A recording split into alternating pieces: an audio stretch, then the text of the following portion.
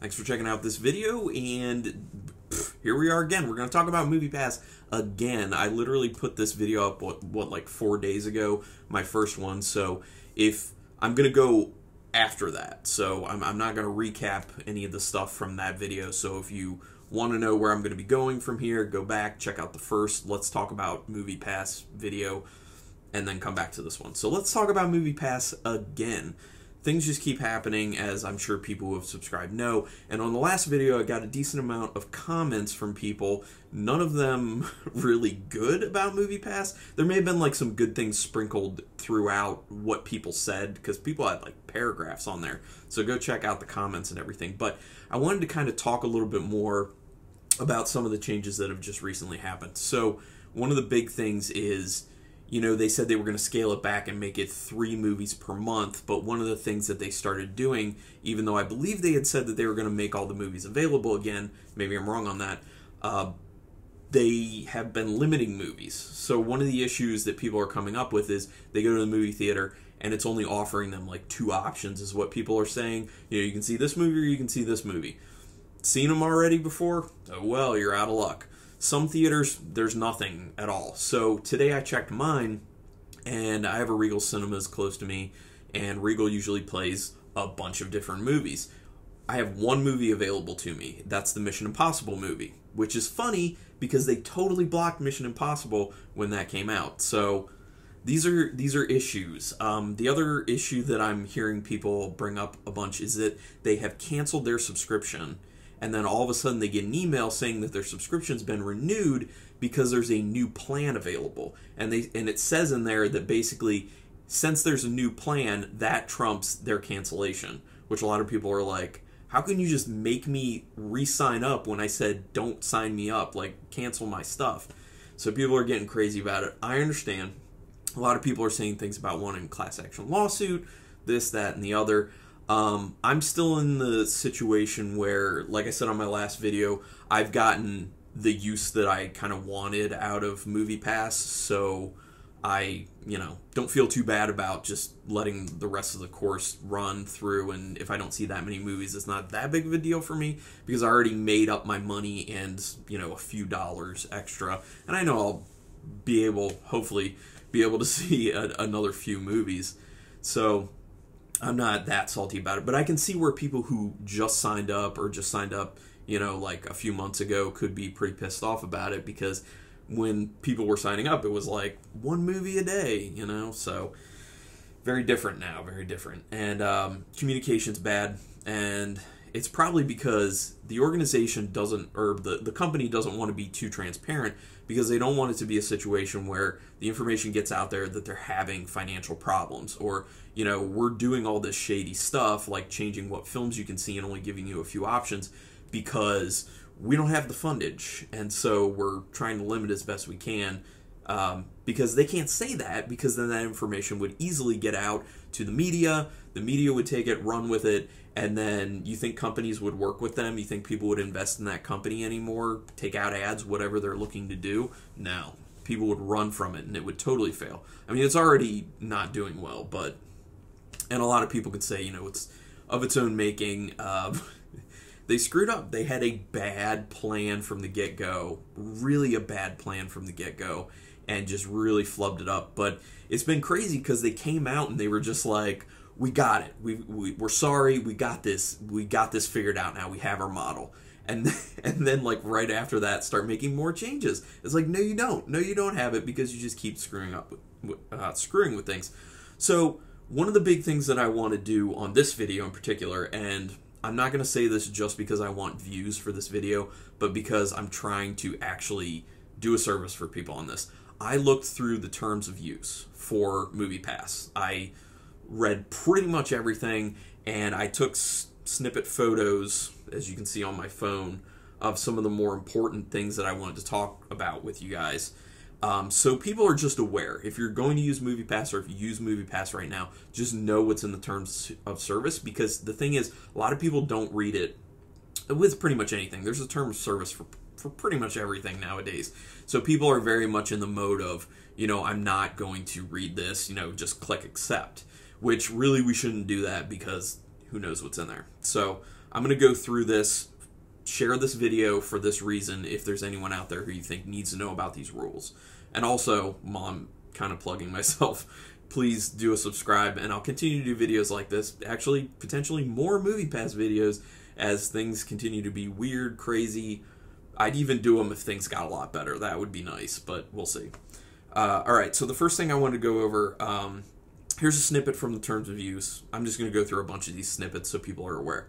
MoviePass reserves the right to change or modify the service or subscription at any time and in its sole discretion, including but not limited to applicable prices at any time without prior notice. So they're saying we can change anything with with um, your access to films and pricing without saying anything to you. It, it can just happen. Um, MoviePass reserves the right to change the rules of movie-going attendance and ticket availability to members in connection with the service at any time. Once again, any time. MoviePass reserves the right to change from time to time the number of eligible movies a member can see per month. So when they say three, they could drop it to one. They could drop it to zero based off what their terms of service say. And you agreed to it if you if you're using the service right now. So I'm just just pointing this stuff out. Um, MoviePass reserves the right to offer members a new price option if they exceed watching a certain amount of movies per month. Basically, saying if you go past a threshold that they don't like, they're saying we have the right to say we're changing your plan and you're not paying $9.95 or whatever it is a month. You're going to pay $15.95 or whatever because you're a heavier user. So that's in there that they can start doing that stuff. Just once again, just know this stuff. All right, cancellation because I talked about the cancellation issues here. Uh, people were saying that they canceled, but then they were like, "Oh, it's a new policy, so we're signing you up." Uh, to cancel, you must notify MoviePass in writing via email at least one business day prior to the next billing date, stating your intent to cancel and providing the full name and email address on the account. You may also cancel your membership by using the MoviePass app. Cancellations are not effective until confirmation is sent to you via email, and you are responsible for all charges until cancellation is confirmed.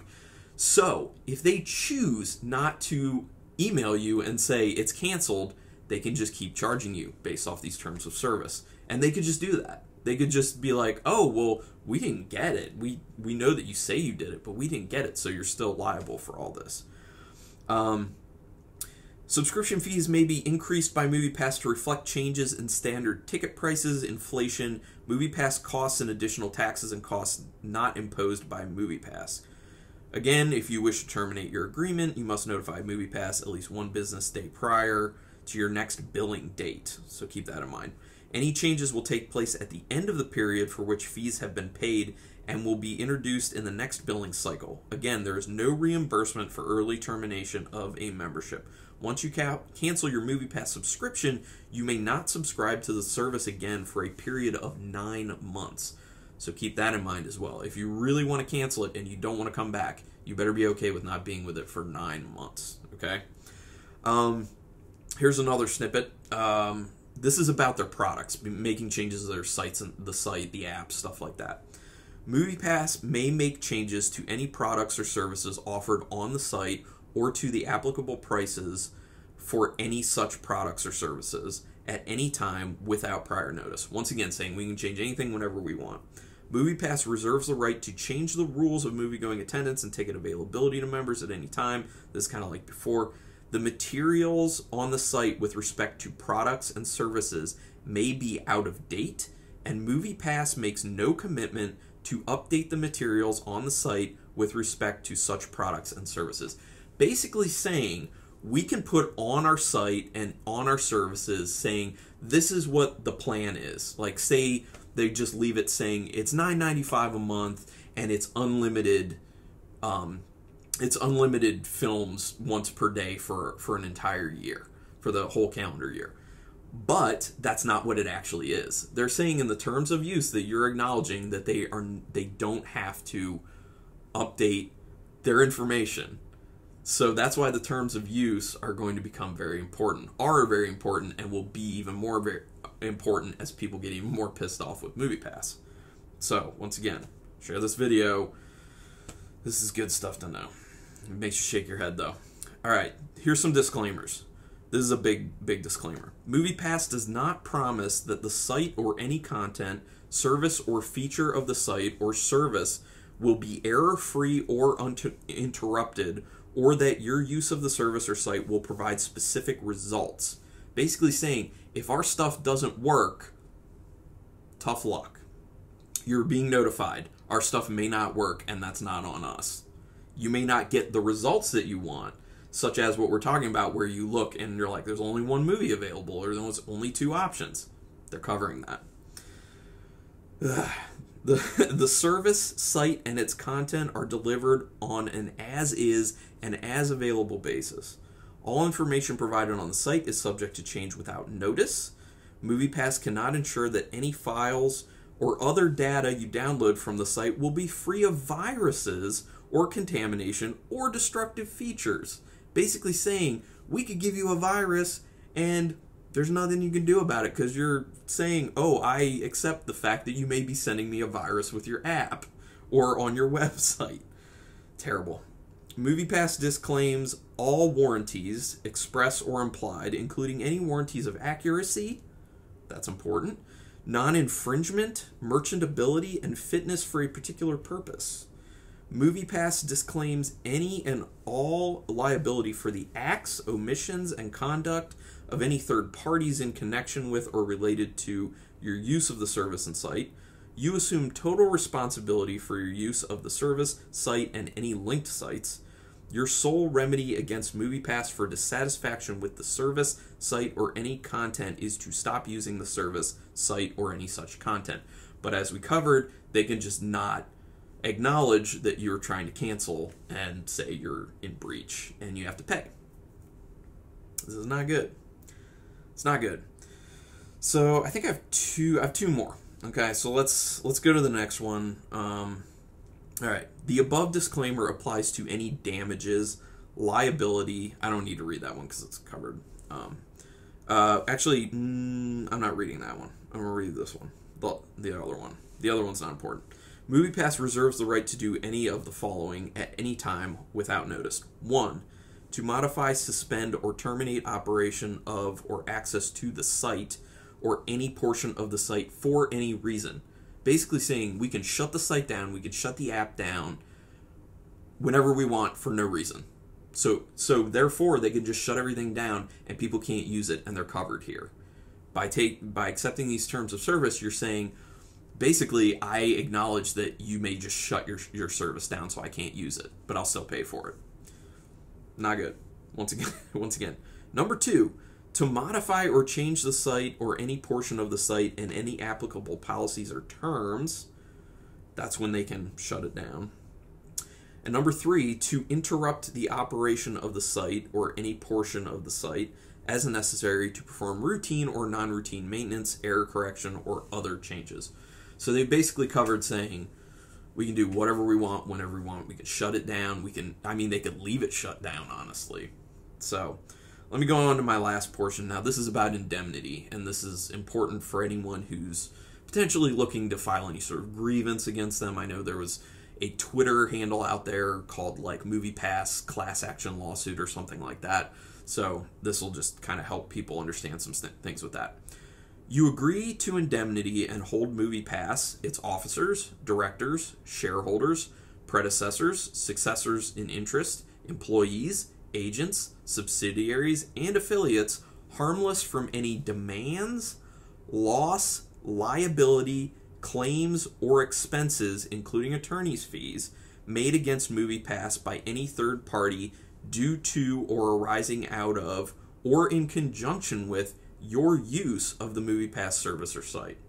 Basically saying you hold nobody responsible for the issues you would have with MoviePass but yourself. So that's where we are, fellas and ladies, with MoviePass. Um, that's all I'm going to go over with the terms of service. If you want to know more about it, see, I'm crossing my arms because I'm just like kind of fed up. But um, if you want to know more about it, read it yourself. I do encourage people to do that type of stuff. Um, I'm guilty myself of a lot of those terms of service being like fine because I want whatever app I'm trying to get or you know whatever site I'm trying to access.